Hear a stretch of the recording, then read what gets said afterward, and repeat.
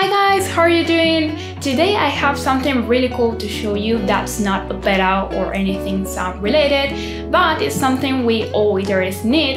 A guitar stand, but it's not a simple guitar stand.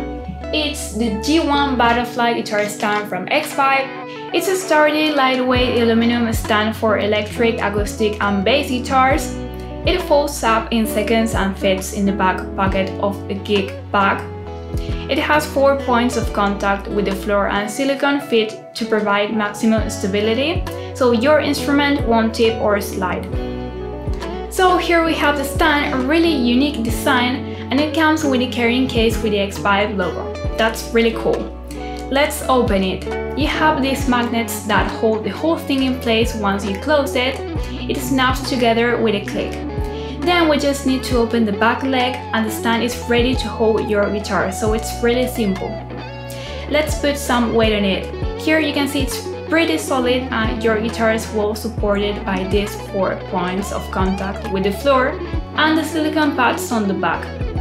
What I really like the most is that you can easily fold it and take it with you everywhere, so I highly recommend it. You can find it on the Xvive website. Mm-hmm.